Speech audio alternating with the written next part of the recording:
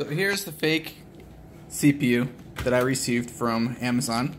Uh, to their credit, they're taking it back. Um, but I had just removed the heat spreader to see what was underneath because I was suspicious. And you, when you look at this from the side, you can see right through it, and, and that's not normal. Right? So I went ahead and I pried it up a little bit. I could hear it cracking, so I knew it wasn't hurting anything, and it's just glue. That's that's all we have under here. We have a little bit of glue on the uh, heat spreader, and we have a, a dummy circuit board.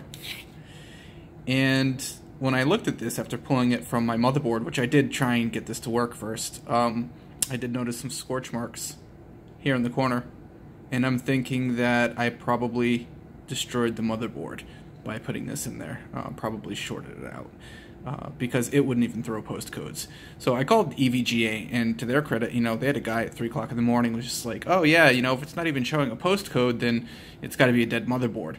Uh, but I think that really it was just a fake CPU that killed my X299 Dark.